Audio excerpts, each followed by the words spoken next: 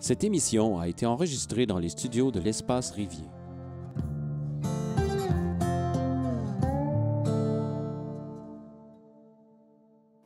Il existe à Drummondville un endroit qui s'appelle l'Envolée des mers. Vous avez peut-être déjà entendu parler. Sinon, ben, c'est votre chance aujourd'hui d'en découvrir davantage grâce à nos invités.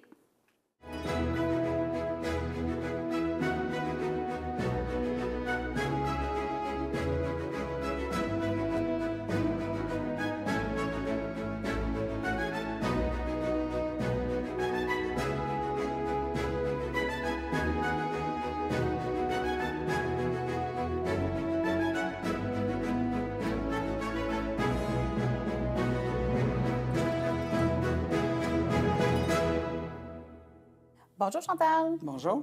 Alors toi, tu es coordonnatrice de l'envolée des mers depuis quelques années. Peux-tu nous parler un peu de la mission? Qu'est-ce que c'est l'envolée des mers? L'envolée des mers, c'est une ressource d'hébergement, premièrement. C'est un, un, bloc appartement de 18 logements.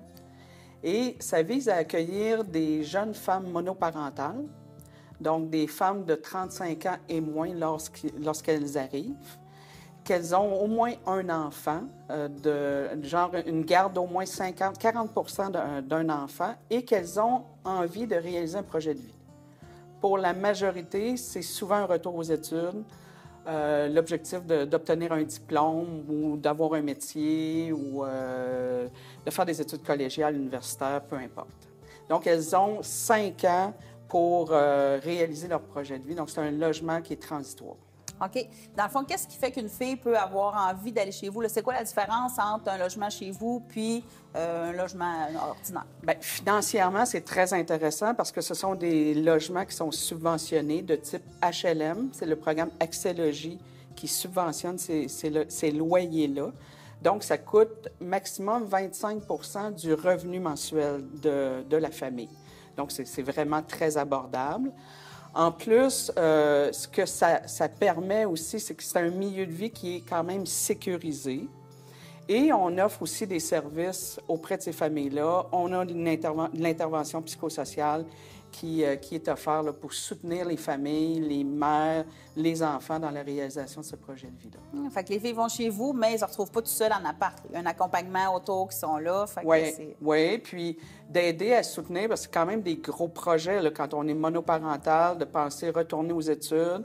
Certaines n'ont pas encore obtenu leur diplôme d'études secondaires, donc c'est un retour sur les, sur les bancs d'école qui, des fois, euh, ça fait quand même un certain moment qu'elles n'y sont pas allées. Euh, il y a des enjeux économiques, il y a toute l'organisation avec les enfants en préscolaire ou au niveau scolaire. Et parfois, certaines ont des besoins particuliers aussi. Euh, troubles anxieux, euh, je ne sais pas, elles, surmontent un problème de dépendance. Ce ne sont pas que ça, mais ce sont aussi ce genre de personnes-là. D'où l'importance d'avoir une équipe autour aussi. Bien, justement, qui, c'est qui qui travaille là avec toi? Bien, en, ce moment, on a un poste euh, d'une intervenante euh, psychosociale à temps plein. C'est quand même une jeune organisation, l'Envolée des mères. Il hein. faut comprendre que l'Envolée des mères, c'est une idée qui est venue du milieu de Jean de Drummondville au milieu des années 2000, alors que Drummondville avait des statistiques très peu enviables quant au placement des enfants et au signalement des enfants. Euh, et euh, le milieu s'est mobilisé, on parle de l'éducation économique, le milieu communautaire, pour essayer de voir qu'est-ce qui pourrait être mis en place, quelque chose de positif qui pourrait faire une différence. Et ça a pris une dizaine d'années et est né l'envolée des mers. C'est de là que ça vient. C'est vraiment un besoin du milieu. Et c'est pas une ressource qui existe dans beaucoup d'endroits au Québec. Euh, on répertorie environ quatre ou cinq endroits où il y a des, des, MRC ou des municipalités qui ont la chance d'avoir ce type de ressources-là. Donc, c'est quand même un plus pour la MRC de Drummond. Puis, il faut comprendre aussi que ça, ça, peut être accessible à des femmes qui décident de, de, de venir d'ailleurs pour réaliser leur projet de vie. OK. C'est aussi possible. Fait que c'est pas juste pour les filles de Drummond, dans le fond, c'est une ressource qui est ici. Il nous arrive euh, parfois des références. Quelqu'un à Trois-Rivières qui souhaite réaliser son projet d'études euh, ça peut être euh, venir faire un DEP ou euh, étudier. maintenant, on a un campus du QTR à Drummondville, donc il y a quand même des, possibilités très variées là, en termes de réalisation de projets de vie. Hmm. Et ces femmes-là, elles nous arrivent souvent par des partenaires référents. Les partenaires référents, ben, c'est les écoles secondaires, c'est formation professionnelle, c'est cégep, c'est des organismes comme Partance, comme le Carrefour Jeunesse Emploi, entre autres, qui euh, parfois ont des, euh, des, des clients, des, clientes et euh, voient que ça pourrait être une ressource qui ferait une différence dans leur réalisation de leur projet de vie. C'est comme ça qu'elles nous sont référées. Et il y a bien sûr un partenaire qui est important, celui du CIUS. Euh, donc, des, femmes qui, qui, qui, ont été chercher du soutien, soit au niveau de la mission CLSC, parfois qui ont besoin d'un coup de main au niveau de la DPJ et qui nous sont référés aussi. Fait que c'est très large. J'ai aimé ce que tu nous as dit. Dans le fond, la fondation, euh, c'est fait avec des acteurs du milieu très différents, hein, autant l'éducation, euh, tout, ça. Euh, ces gens-là sont encore autour de vous, je C'est ce qui est exceptionnel à l'Envolée. L'Envolée a ouvert ses portes en 2015. Donc, c'est quand même jeune comme organisation. Et on retrouve au, sein du conseil d'administration encore, je dirais, il y a 60% des membres du conseil d'administration qui ce sont des membres fondatrices. Hmm. Donc, il y avait une gestionnaire du CIUS à l'époque, il y avait une directrice générale d'un organisme communautaire, il y avait une gestionnaire qui était à la commission scolaire. Donc, euh, elles nous arrivent aussi avec leur expertise, la connaissance de leur milieu, puis ça nous permet aussi de, bien connaître. Vous savez, il y a eu le, rapport euh, de Mme Laurent qui a été rendu euh, dernièrement sur toute l'histoire de la DPG. Et ce qui ressort de ce rapport-là, c'est de dire qu'il faut tout un village pour élever un enfant. Mais l'envolée, c'est un peu ça. C'est vraiment toute la communauté qui s'est mise ensemble et qui est encore ensemble pour permettre aux femmes de réaliser leur projet de vie. Et je pense que c'est souvent ce qui va faire la différence entre une réussite ou malheureusement un gros échec. Oui, parce que ça arrive, j'imagine, qu'il y a des filles qui rentrent, puis finalement, oups, ça convient pas, puis euh, ils quittent, là. Euh, oui, il y a des femmes qui ne resteront pas pendant cinq ans. Moi, j'ose croire que c'est des petites graines qui sont semées et qui seront peut-être récoltées ailleurs à un autre moment. Mais je pense qu'il n'y a pas de passage inutile à l'envoler. Ce qu'on souhaite, c'est que quand les familles arrivent, ils soient là au bon moment. Parfois, malheureusement, ils arrivent peut-être un petit peu trop tôt sont pas encore prêtes à investir complètement leur projet de vie et ils doivent quitter.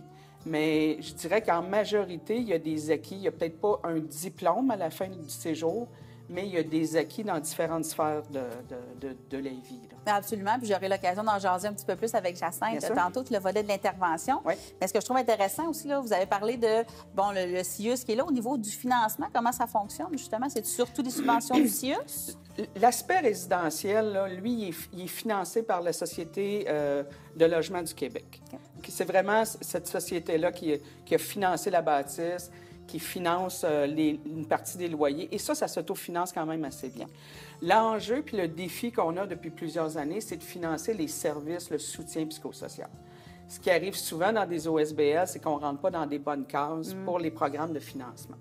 Mais je dirais que depuis quelques années, on a réussi à créer de bons liens, entre autres avec le CIUS, qui nous permet tranquillement, pas vite, de pouvoir peut-être attacher quelque chose qui va devenir, qui va assurer une pérennité. Mais nos services psychosociaux sont encore très, très fragiles en termes de financement, malheureusement. Bien, c'est ce qu'on va vous souhaiter, dans le fond, d'arriver à mettre ça sur pied. C'est déjà tout le temps qu'on avait. J'aurais aimé voir euh, davantage. Un grand merci, Chantal, et on poursuit euh, avec Jacinthe. Merci.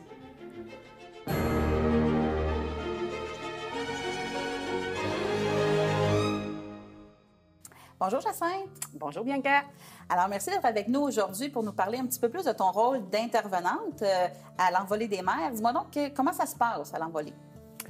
En fait, à l'envolée des mères, euh, on accueille des mères et leurs enfants, évidemment. Euh, moi, mon travail, c'est de les accompagner au quotidien dans leur projet de vie. Puis le projet de vie, bien, ça comprend euh, autant le niveau, euh, les, compétences parentales que les compétences professionnelles, euh, économiques, sociales, personnelles également. Ça fait que, dans le fond, mon quotidien, moi, c'est de rencontrer les mères. Je les vois une fois par mois. On fait un petit bilan de comment ça va, où est-ce qu'il y a des difficultés, des défis, tu es rendu où dans tes objectifs? Euh, chaque mère a un plan d'intervention qui est, mis en place euh, ben, à, son arrivée, je te dirais deux, trois mois après son arrivée, le temps de s'intégrer, euh, de créer un climat de confiance et voilà. donc, une fois que le plan d'intervention est en place, ben, on revisite ça à chaque mois.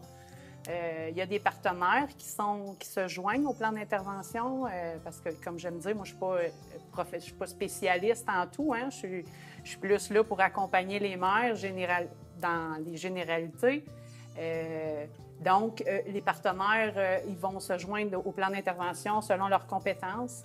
Il peut y avoir un psychoéducateur du centre de formation, il peut y avoir une intervenante du, euh, de chez Partance. Euh, ça peut être une travailleuse sociale euh, du CLSC aussi pour aider aux compétences parentales et tout ça. Vraiment selon les besoins de la fille, dans le fond. Exactement. Tu avec la maman, puis tu vois selon ses besoins, tu dis, ah, tiens, tel organisme, je vais la référer là plutôt, ou telle personne que je connais. Ou... Quand elles arrivent, on fait une évaluation des besoins, puis c'est puis ça évolue aussi hein, euh, durant le parcours. Euh, il se peut qu'il y ait des ressources qui sont utiles au début, puis à un moment donné, on n'a plus de besoin. C'est ça qu'on souhaite. Euh, nous, ce qu'on vise, c'est l'autonomie dans tous les volets de sa vie. donc, dès qu'elles évoluent un peu et qu'elles acquièrent des compétences, ben, on, est content. Oui, c'est ça, c'est fun. Hein? Qu'est-ce qui te donne envie, toi, de travailler auprès des mères, comme ça, des jeunes mamans? Qu'est-ce qui te donne le goût d'être là? Bien, mon parcours personnel, je dirais, euh, moi, j'ai été monoparentale. Euh, j'ai fait un retour aux études euh, alors que j'avais un enfant en bas âge. puis bon, ça n'a pas été facile. puis quand j'ai découvert l'envolée des mères et, la mission qu'elles ont donnée, là, puis l'utilité que ça aurait pu avoir dans ma propre vie personnelle, je me suis dit, ben c'est peut-être que je peux accompagner puis apporter mon propre vécu aussi à ces mères-là? Ben oui, assurément, hein, parce qu'il n'y a rien qui vaut l'expérience, effectivement. Là. tu avais été touchée par la mission parce que toi-même, tu étais passée par là. Hein. Exactement. Ah, c'est super, vraiment. Puis, et quels sont les joies, les défis principaux que tu rencontres dans ton travail? Bien, moi, ma plus grande joie, c'est euh, d'accompagner les mères, les enfants également. Euh, au quotidien, les enfants qui passent devant mon bureau, qui viennent cogner à ma porte, allô Jacinthe, euh, parfois un câlin, tu sais, ça, pour moi, c'est précieux. Mm. Euh, quand je vois que la, mère a cheminé aussi dans, son, séjour à l'envolée, qu'elle sort avec un diplôme, puis que, euh, tu sais, j'en ai vu qui sont sortis, sont achetés une maison en quittant l'envolée des mères parce qu'ils ont pu économiser des sous pour le faire. Ils ont un diplôme en main, un beau, tu sais, Wow. Euh, là. Mm. Ça, pour moi, c'est précieux. Wow, c'est des beaux mm. accomplissements de voir la mise debout de ces personnes-là. Qu'est-ce que tu pourrais nommer comme défi? Qu'est-ce que tu trouves difficile? Euh, le manque de ressources parfois, euh, les délais. Euh, j'ai en tête un, un vécu, une mère qui a des besoins avec son enfant, puis on est dans l'attente de services depuis plus d'un an. ça, ça me heurte de voir que bon, moi, je, je vis de l'impuissance parfois. Je ne peux, pas, je peux pas combler ces besoins-là. C'est frustrant, ça. Oui, ça doit, hein? effectivement. Oui, oui. Fait que c'est des, des, grandes joies, mais certains défis aussi euh, reliés à l'espèce de bureaucratie ou manque de ressources, en tout cas. On sait dans le, dans le monde communautaire de la santé, c'est un, un grand défi, effectivement. Mm-hmm. Euh, tu as parlé, on va terminer avec ça, tu as parlé qu'il y a de l'accompagnement personnel qui se fait, mais est-ce qu'il y a aussi, euh, tu parlais de le social, il y a aussi une vie de groupe un oui, peu à l'envolée oui. des mères? Ça aussi, c'est. En fait, il faut que les, les filles qui viennent dans l'envolée soient prêtes à accepter euh, le contrat qu'on a à l'envolée, parce qu'on a un code de vie. Les filles ont une tâche à faire à chaque mois. On développe aussi les compétences sociales par le volet communautaire. Et on essaie de développer aussi euh, euh, le volet démocratique parce qu'on a un comité de résidentes qui se réunissent à chaque mois pour discuter des enjeux. Fait que, on travaille vraiment tous les volets de la vie. On met en place des projets comme un projet potager, un projet lecture. Il y a plein de trucs là, pour leur permettre de de faire du bon voisinage également. Ah, wow! Fait qu'il y a vraiment une belle vie qui se passe. Oui, il y a hein? un milieu de vie à l'envolée des mers. Fantastique. Bien, merci beaucoup d'avoir été avec nous pour l'émission. On a appris un petit peu plus sur euh, votre bel organisme. Bonne continuité à vous autres. Bien, merci, beaucoup. De notre côté, on se laisse en étant euh, ouvert à toute cette belle vie-là qu'il y a à Drummondville. Donc, pour en savoir plus, n'hésitez pas à visiter le site web de l'Envolée des mers. Et puis, de notre côté, bien, on se rejoint pour une autre émission de OSBL et fier de l'être.